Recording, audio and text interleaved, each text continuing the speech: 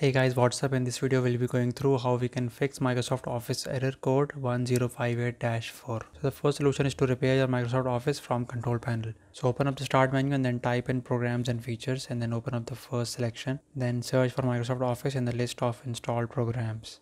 Then double click that and then click on repair and then click on next.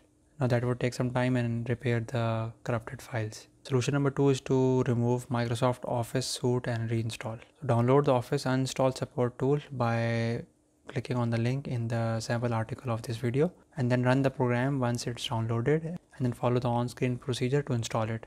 Now once it's uninstalled, go through the prompt and restart your PC. Now once again install Microsoft Office 2013 and check to see if the issue still persists or not. So third solution is to uninstall any antivirus that you have installed on your PC and then check to see if the issue still persists or not. Now solution number 4 is to turn off Windows Firewall. So to disable Windows Firewall go to control panel and then search for Windows Firewall and then click on turn Windows Firewall on or off. Then finally click on the option turn off Windows Defender Firewall for public and private networks and then finally click OK. Now solution number 5 is to perform an SFC scan using the command prompt. So hit Windows key along with R to open up the run dialog and then type in CMD and then press Ctrl Shift Enter and then click OK to open up the command prompt with administrative privileges. Then type in SFC space forward slash scan now and then hit enter.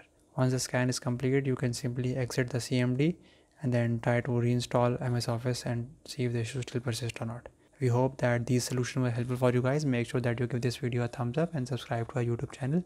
We'll see you in the next one. Take care. Bye